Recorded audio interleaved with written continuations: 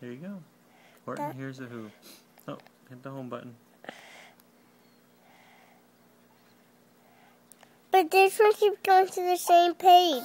It does? Horton is a Who by Dr. Seuss. No, this one. Oh. Because you hit resume. He heard it again.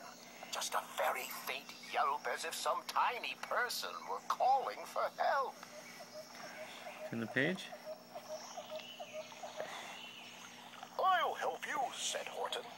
But who are you? Where? He looked and he looked. He could see nothing there but a small speck of dust blowing past through the air. Turn the page.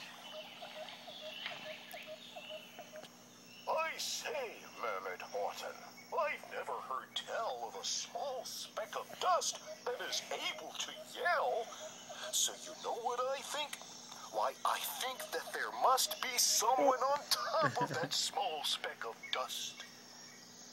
Okay, next one. You like this book?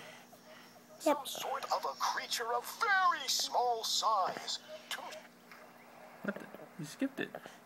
some poor little person who's shaking with fear that he'll blow in the pool. He